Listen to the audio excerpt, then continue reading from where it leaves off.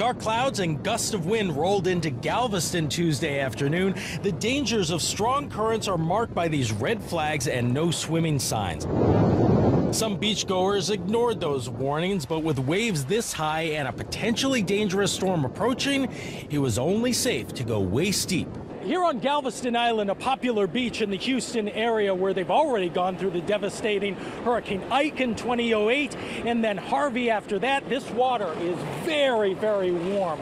The Earth does us a favor by absorbing 90% of its warming here in the oceans, but it comes with a trade off. This is jet fuel for hurricanes and tropical storms. And that means cities along the coast are preparing. In Surfside, Texas, Mayor Greg Bisso went to the beach to stop people from swimming or surfing. Doing this for the safety of the public and also the safety of my employees, my officers, who would have to go out there and rescue these people if they got in trouble.